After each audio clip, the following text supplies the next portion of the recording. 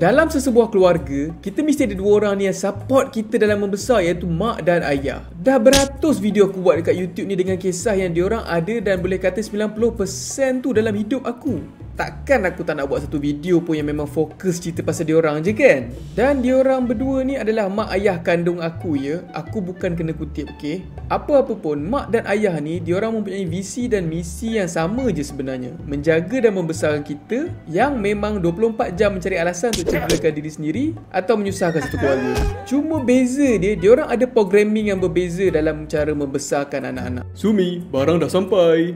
Ha letak-letak kat situ jap Nanti dah habis video ni aku nak buat unboxing sikit ya guys. Ada benda nak review. Okey, kita teruskan cerita. Kalau dari segi masalah, aku rasa masalah masa aku kecil semua aku rasa mak aku boleh selesaikan. Sebab tu kalau ada masalah je, mak, mak, mak. Ayah pula dia akan selalu turun kalau masalah tu mak tak dapat settlekan. Dan satu lagi macam biasalah kan, ayah kan kerja. Jadi dia jarang ada dekat rumah. Jadi emak je lah tukang yang menyelesaikan semua masalah-masalah aku.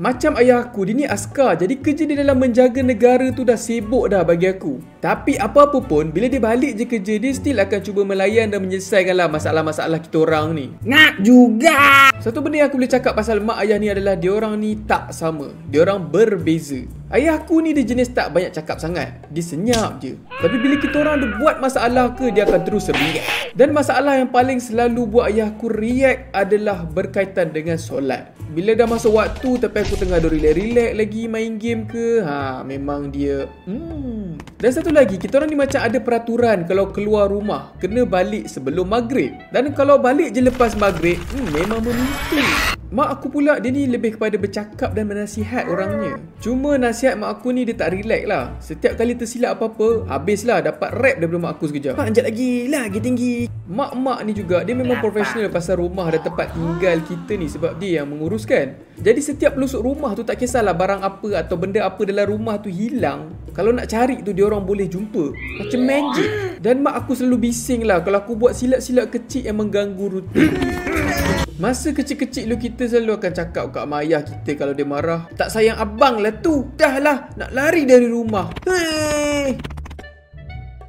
Eh sekejap je lari daripada rumah. Hmm, Tak ada mood lah nak lari rumah hari ni Minggu depan kot. Dan bila dah besar ni aku rasa bersyukur yang mak ayah aku marah aku masa kecil dulu. Maksudnya dia kisah dengan kita ni. Bayangkan kalau korang buat masalah dan Alamak tertumpahkan air. Hmm Uh-oh, terpecahkan pinggan Upsi, upsi. Terbakar rumah pula dah. Hmm.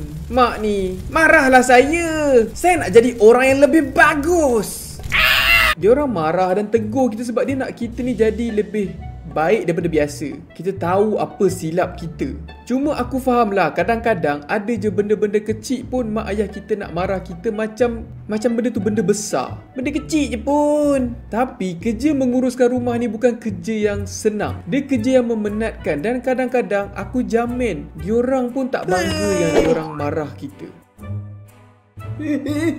Aku ada beberapa kenangan pasal mak dan ayah aku yang aku tak boleh lupa masa kecil. Aku ni tak adalah anak mak macam setengah orang semua ataupun semua orang kat luar tu. Tapi aku ada momen-momen aku lah. Macam momen-momen manja. Okey okey aku tak manja okey. Masa aku sekolah rendah, aku setiap kali nak pergi sekolah je aku akan naik basikal sebab sekolah aku tak adalah jauh sangat. Dia sekangkang kera je. Dan setiap kali kalau aku nak pergi sekolah tu aku akan babai mak aku dekat tingkat 4 sampai hujung jalan. Sampai aku tak nampak dah muka dia. Dia sama juga bila setiap kali aku nak tidur, aku akan salam mak aku dan cium dia. Sebab aku risau yang aku tak dapat bangun dan jumpa dia dah. Ha, macam kelakar lah fikir. Macam ayah aku pula, dia lebih kepada rasa bangga gitu sebab ayah aku dia ni askar. Jadi diorang ni memang akan selalu pergi training askar setiap bulan. Aku pun tak tahu apa training tu dan apa diorang buat sebenarnya. Tapi setiap kali dia balik, dia akan lalu dekat jalan sebelah rumah flat kita orang ni. Masa tu aku dengan adik aku ni akan bersedia lah untuk babai kita orang ni. Excited dia masa tu, lain macam. Lepas tu lambai punya lambai Ayah aku akan keluar daripada salah satu kereta perisai tu Dan sahut balik lambai kat kita orang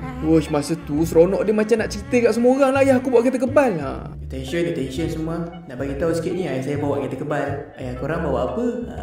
Ayah aku bawa peterbang Oh, kita boleh geng. Setiap mak dan ayah mesti akan melalui kesusahan yang kita sendiri tak dapat nak faham masa kita kecil Macam mak aku dia meniaga dan dia selalu sibuk daripada pagi hingga ke malam. Waktu pagi dia akan dihabiskan dengan menguruskan kita orang dan petang sampai ke malam pula akan dihabiskan untuk menguruskan perniagaan dia pula. Sementara tu ayah aku lebih fokus untuk kerja dan beli keperluan-keperluan untuk kita orang belajar. Bagi aku jasa dia orang ni kita takkan perasan sangat sampailah bila kita ni start meningkat dewasa.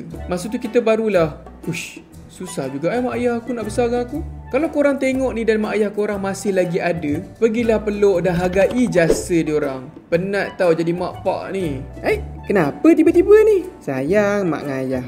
Lepas tu, nak duit sikit? Ha, korang. Kan aku cakap aku ada benda nak review sikit kat awal video tadi kan? Bendanya adalah... Dadah, tote bag Sumi Azil. Hai guys, aku dah keluarkan merch baru tote bag dengan kolaborasi bersama Shopee. Desain yang comel juga direka khas oleh Shopee tau.